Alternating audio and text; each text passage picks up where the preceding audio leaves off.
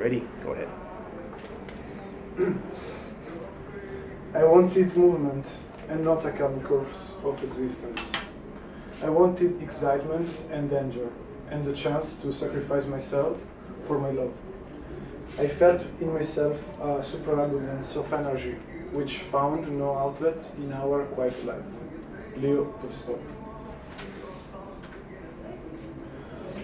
The quote that I just read is the most inspiration for the person that I'm going to introduce you. Um, Christopher Johnson McCandless was uh, an American student, uh, and uh, he was different. He was uh, born in a wealth and rich family, but he was different. He had other dreams, and he wanted to follow his dreams. He was tired for the materialist and mainstream American culture. He wanted something new. He wanted to change his life. So, I will introduce you uh, Chris McCandless, and I will speak about three points his early life, his travels, and the third point, the most important, I wanted to call it Alaska because just not just for the state but also for the atmosphere, all the and for all the insights that Alaska contains. So, at first, early life. Who was Chris McCandless? Chris McCandless is this guy. Uh, in this picture, he's uh, he's with uh, three brothers. Uh, he was born on uh, 12 February 1968 in South California, and uh, his, um, he was the first of uh, two children. Uh, these these uh, brothers are from the first marriage of his father, so his his father was divorced. Um, during his childhood, Chris McCandless was a student, a good student. Uh, he had a strong body, a strong, uh, well, uh, health, healthy body, and uh, he was one of the best athletes in the school. He was al al almost uh, first place when he did some uh, sports activities. But his childhood was a little eventful. Um, at the age of eight, his family moved in Virginia, yes, in a suburb of Washington D.C. And um, maybe the best, the most important person for him in during his childhood was his uh, younger sister, Carine. Here is uh, with his sister. Uh, the parents, the relationship between uh, their parents is not uh, good. The parents fought too many times. They thought a lot of times to divorce, so he was a little tired of that situation and he didn't like that atmosphere. His father was a rich man. He, he worked for NASA, for aerospatial, for, for the space, for uh, America. And uh, his father wanted the best for him, for his career. So when um, uh, when Chris McCandless graduated in uh, 1990, so when he was 22 years old, at uh, the Atlanta University in Georgia, uh, their parents wanted the best for him. They dreamed about his career. Uh, you have to, to, to keep studying. To you have, we want the best for you. They, they could buy everything for him. They could buy cars, everything. But he refused. He refused everything. He won also a good, uh, a lot of money for his graduation. His gra his uh, bachelor's degree was about history and anthropology, but uh, he decided to give the most of this money for charity. And he decided to give up.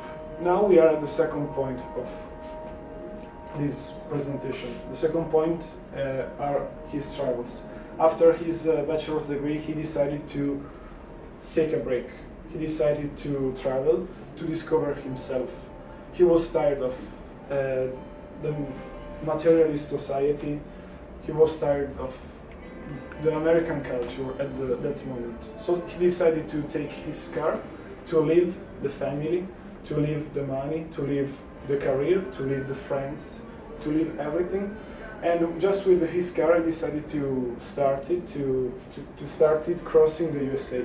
He, he, after some, after some travels, he lost his car because the car uh, broke down. So he, he decided to uh, just moving hitching across the USA. And uh, without money, without anything, just a bag and uh, a lot of dreams. Uh, he, during these travels, during these years, he met amazing people. And uh, uh, he had really, really close relationships with some of the people that he met. And uh, to these people, he he didn't speak about his family. He wanted to forget his past, and he started speaking about his dream, Alaska. He wanted to go to Alaska, to to discover himself, to come back to a primordial situation of human. Yeah, he wanted to go there. So he crossed a lot of states. He went also to the Gulf of Mexico. And uh, in April 92, 1992, finally, I think he could go from North Dakota to Alaska. He went to Alaska to this park, the Denali Park. Here it looks uh, quiet and easy to live, but it's not like that. Alaska is maybe re- it's really dangerous. Alaska. There are a lot of dangerous animals, and if you're not ready to to live there, if you don't have the tools to live there, it could be really hard to survive. People who uh, met him during his travels uh, started thinking that he was uh, crazy. He, he imagine you have all the money that you want, and you decided to leave everything and to go to Alaska. It sounds crazy. He arrived to Alaska in April 1992, and uh, since this moment, he won't ever meet other people. He has some tools, some guns, some knives to hunt animals. He doesn't have food. He's there just to just to just to think, just to discover the real essence of life. He loves ad- adventures, and this is one picture that uh, he took to himself during this this experience. Uh, in, a, in this park, he found this uh, train. It's a wagon uh, or a bus. Yes, it's a bus. And in this bus, he uh, built his small house. He slept there. He had all the tools there, and he tried to survive inside of, of this of this bus. Now this bus uh, has become uh, an a touristic attraction. A lot of people go there to see the place that where Chris McCandless wanted to live.